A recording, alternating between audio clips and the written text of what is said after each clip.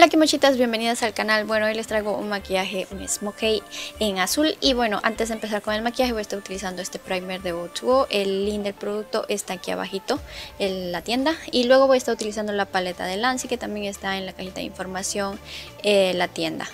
Eh, voy a estar utilizando el azul y con una brocha plana de color voy a estar difuminándolo todo muy bien hacia arriba haciéndolo una U como siempre y luego difuminando todo hacia arriba despacio para que la sombra no se les marque mucho. Luego voy a estar utilizando otra vez el primer de Utsugo y lo voy a estar colocando con una brocha plana en el centro de mi párpado. Luego voy a estar utilizando otra paleta de, de Lancy y voy a estar tomando la sombra blanca. Y con una brocha más peludita voy a estar colocándolo en el medio de mi párpado y difuminándolo hacia arriba poco a poco.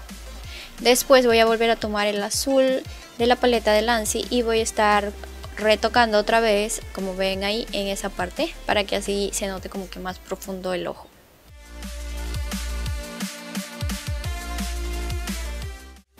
Ahora voy a estar colocándome las Kimo Lashes Tahara. En la cajita de descripción está el link directo a la tienda. Los envíos eh, de todas las tiendas que les he dicho ahorita son para cualquier país, así que pueden chequear sus productos.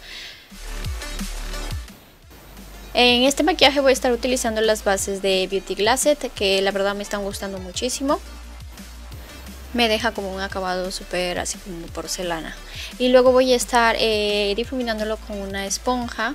Como pueden ahí, difuminan bien su base. El corrector que voy a estar utilizando es de la marca O2O y voy a elegir el blanco y eso lo voy a estar colocando para dar luz de esa manera como lo ven ahí. Luego voy a pasar a difuminarlo muy bien con la esponjita o puede ser con una brocha como ustedes gusten. Y luego voy a, coger otra vez la sombra este, azul y voy a estar colocándolo con una brocha pequeña en la parte inferior de mi ojo así que ahí ustedes ya ven la cantidad que lo hagan si un poco más bajito o un poco más intenso. A mí siempre me gusta más intenso porque no tengo pestañas ahí eso es lo malo. Luego estaré pasando la máscara de pupa que les recomiendo muchísimo vale muchísimo la pena. Me saca un poquito más largas las pestañas de las que no tengo ya que son muy escasas.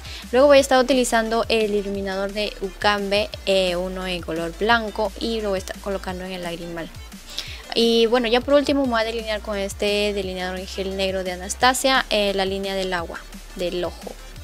Para finalizar el look voy a estar utilizando de la colección de labiales de Delancey el último labial, que la verdad está súper bonito, les recomiendo también muchísimo, están súper buenos.